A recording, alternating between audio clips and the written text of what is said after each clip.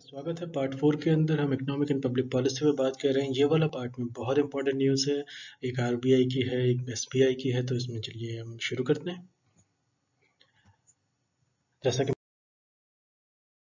कहा, इसमें आरबीआई से रिलेटेड एक न्यूज़ है कि आरबीआई ने एनेबल करने को कहा है पेमेंट सिस्टम को फीचर फोन्स के अंदर, जो अभी तक स्मार्टफोन्स के अंदर ये जो फीचर अवेलेबल है, जिस तरह की जैसे innovation in mobile payment service इसको लेकर टी रविशंकर जी, जो एग्जीक्यूटिव डायरेक्टर हैं आरबीआई के, इनका कहना है कि ये जो फीचर फोन्स में भी इसको शुरू किया जाए तो इसके लिए इन्होंने फिनटेक प्लेयर्स की जो बात की गई है, वो सिग्निफिकेंट रोल प्ले करने वाले हैं, ताकि इस तरीके का एक पेमेंट सिस्टम डेवलप हो सके। इस तरीके के यूज़र्स को, और एक डेटा है ट्राई का ही, चालीस करोड़ यूज़र्स जो हैं, वो आपका व्हाट्सएप यूज़ करते हैं और शायद 115 जो हैं आप करोड़ आपके पास आपके पास सिम है तो बेसिकली इसमें देखा जाएगा फ्यूचर हम ब्लॉकचेन के आर्टिफिशियल इंटेलिजेंस की तरफ़ बात करें, जिस तरीके से जियो के फ़ोन्स जो आ रहे हैं तो फीचर फ़ोन्स में, लेकिन ये बहरहाल ये इंपॉर्टेंट न्यूज़ और एग्ज़ाम में आएगी तो आपको कन्फ्यूजिंग लग सकती है। तो fintech players T T Ravishankar executive director RBI इन्होंने कहा इसको फीचर फोन्स पर भी शुरू किया जाए। इसमें जो दूसरी इंपॉर्टेंट न्यूज़ है, वो एस से रिलेटेड है। एसबीआई के जो प्राइसेस हैं, वो रिस्कीस्ट कैपिटल सिक्योरिटीज़ के वो रिकॉर्ड लो गए हैं। ये बहुत इंपॉर्टेंट न्यूज़ है। एसबीआई जो है, वो चार हज़ार करोड़ सेल करने वाले हैं। यानी जिसको कहेंगे हम पाँच मिलियन डॉलर्स जिनको कहा भी जाता है एडिशनल टायर वन बॉन्ड्स तो ये एडिशनल टायर वन बॉन्ड्स जो हैं आपके, ये कूपन रेट पे जाएँगे seven point seven four percent पे। डेटा याद रखेगा आप, वो रेट पूछेंगे आपसे। तो डेट्स जैसे ये जो आपकी है लोवेस्ट प्राइस है इस डेप्थ के लिए। तो ये काफ़ी काफ़ी चौंकाने वाली बात है, लेकिन ये फुली रिटर्न ऑफ़ की जा सकती है क्राइसिस के अंदर।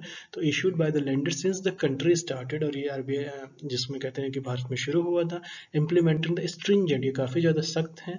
बेसल थ्री कैपिटल रूल्स 2013 तो आपको इसमें सारी डेटा याद रखना पड़ेगा। बेसल थ्री ये कब शुरू हुआ था? 2013 में। काफ़ी स्ट्रिंजेंट कैपिटल रूल्स हैं और आरबीआई एसबीआई जो है आपका 4000 करोड़, यानी कि 545 मिलियन डॉलर्स करीब टीयर वन बॉन्ड्स के अंदर ये कूपन रेट 7.74 में सेवन फोर परसेंट में ये इसको सेल करेंगे। ये आप डेटा याद रखिएगा, चलिए।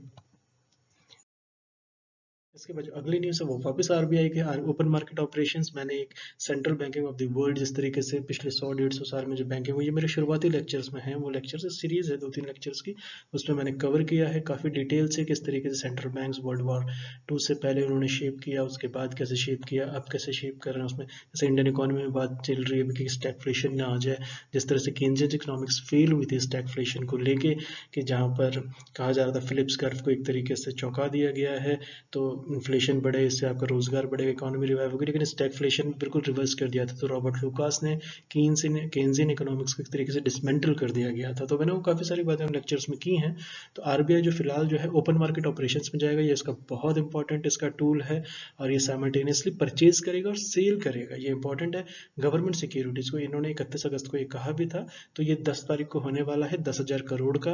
और इन्होंने इकतीस तारीख, इकतीस अगस्त को ये कहा था पिछले महीने कि इस तरीके साइमल्टेनियस परचेज और सेल करेंगे ये ओपन मार्केट ऑपरेशंस के तहत।